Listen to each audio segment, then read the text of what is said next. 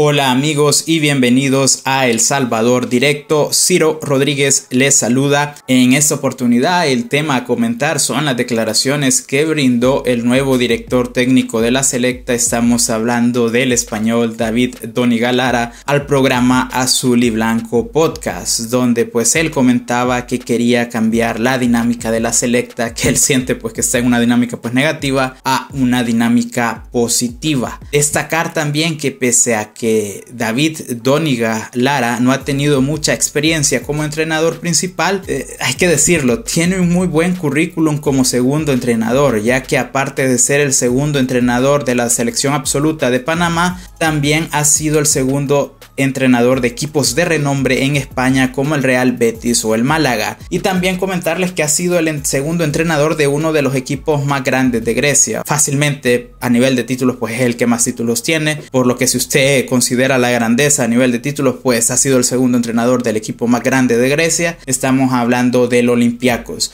Eh, y antes de pasar a analizar las declaraciones de David Doni Galara, escuchemos el análisis que hizo el periodista del Gran Rodrigo Arias, donde comenta que el partido ante el Inter de Miami de Lionel Messi puede ser un partido trampa. Eh, todos los créditos a los periodistas del gráfico y al periodista Rodrigo Arias. Veamos este fragmento a continuación.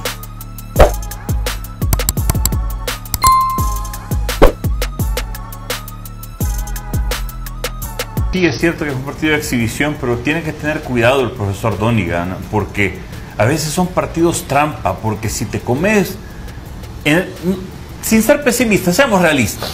¿Qué pasa si nos comemos una goleada contra el Inter y otra goleada contra Costa Rica? Yo sí creo que, sería empezar mal el proceso. Creo que eh, le bajaría la confianza a los muchachos y yo creo que hay que ser precavido. Estoy seguro de que el técnico lo sabe, los jugadores también y, y ojalá que se manejen eh, con esa, con esa vamos a ver, con la serie, que se maneje la defensa con mucha seriedad, que se maneje, hey, es cierto, son partidos de exhibición, pero eh, caería muy mal do goleada.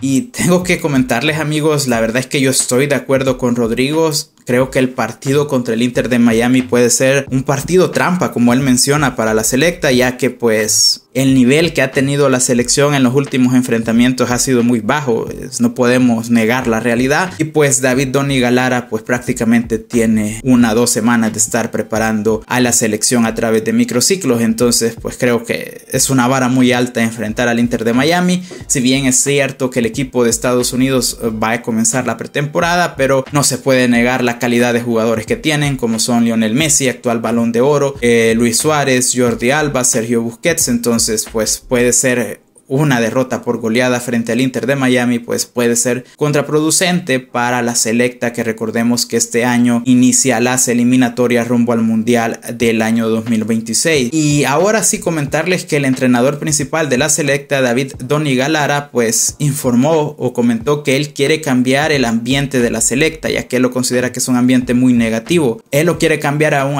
ambiente o un clima laboral pues alegre y positivo con la intención de que el jugador se sienta feliz de ser convocado a la selección y aparte de obviamente pues de conseguir buenos resultados que eso pone feliz a cualquiera pues quiere mejorar el clima laboral en la FESUD y sobre todo en la selecta. Y veamos un fragmento de la entrevista de David Doni Galara a continuación todos los créditos a los periodistas de Azul y Blanco Podcast vamos a hacer las cosas de la mejor manera posible como iros otra vez al, pasado y quiero, ayudaros a, romper con el pasado ¿no? y a ver esa, percepción que me transmites tú del, del, jugador de una manera más, proactiva. Es decir, me, cuesta mucho pensar que con la dinámica que vamos a transmitir, con el trabajo que vamos a hacer, con el día a día de los jugadores no quieran venir. De verdad es que me cuesta mucho entenderlo, que no quieran venir a la selección o que o que pasen esas cosas que hasta ahora han pasado y ahora no tengo por qué pasar. Yo no me puedo responsabilizar de lo que ha pasado antes de mi llegada y voy a poner todo de mi parte para que esto, de aquí en adelante, sea diferente. Y también hemos hablado de eso otras veces. Si alguien no quiere venir, es mejor que no venga. Porque no va a venir con el, con el mood de, de, de darlo todo aquí Y sin embargo, los que van a venir, yo voy a ser responsable de hacer que transmitan que esto, como decimos en España, esto mola mucho, esto es divertido. Aquí hay que, aquí hay que pegarse por entrar porque todos van a querer venir. Y esa es, esa es, mi, esa es mi responsabilidad. Si hay problemas y si surgen esas cosas, las acometeremos cuando lleguen. Pero no quiero ponerme la venda antes de la herida.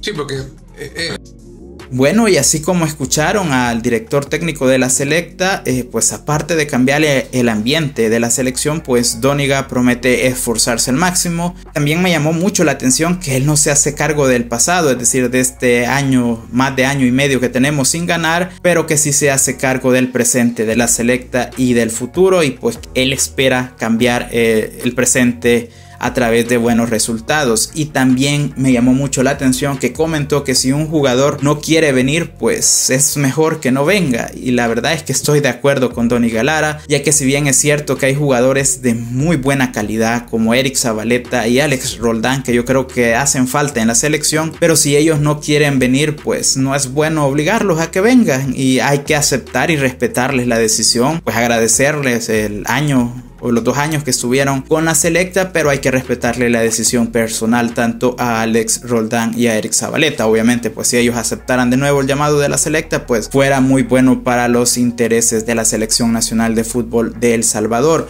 Bueno, puede dejarnos sus opiniones sobre esta temática en los comentarios y si les ha gustado el video compartan con sus amigos, dejen su like y no olviden suscribirse al canal. Será hasta en otra ocasión.